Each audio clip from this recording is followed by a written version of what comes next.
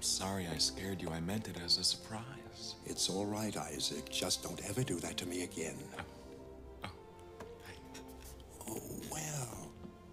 Well, hello there. Have a seat. Mm-hmm.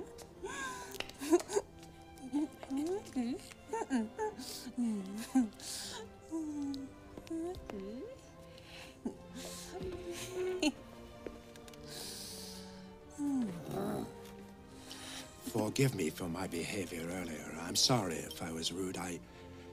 I don't like surprises.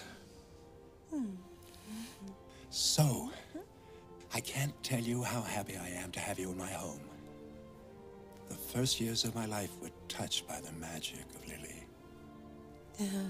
I welcome you. I suppose she told you all about life on the estate.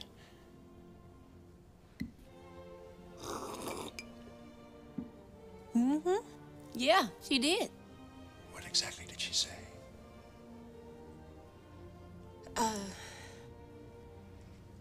uh well, she told me about the trees. They were wonderful trees. There was this beautiful, majestic oak as you drove. That's, that's the one, the oak. She told us about the oak, didn't she? Ah, here's dinner.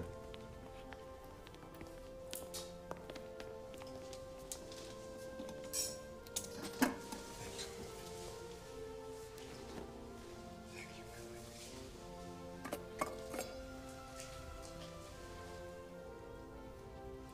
What's this?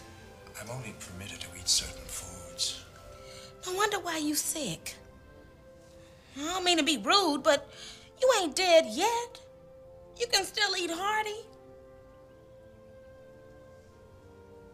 What she mean is you can still eat hearty and be healthy too.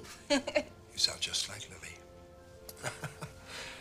There's no food like soul food. You right about that. Ain't no food like soul food, excuse me. Give me a plate. What? Give me your plate.